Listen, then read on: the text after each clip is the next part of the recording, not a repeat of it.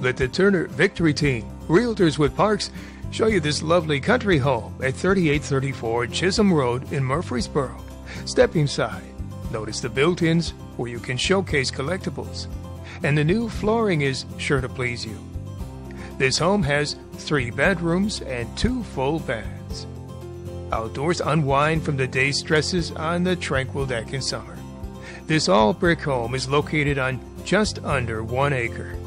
For more information, call today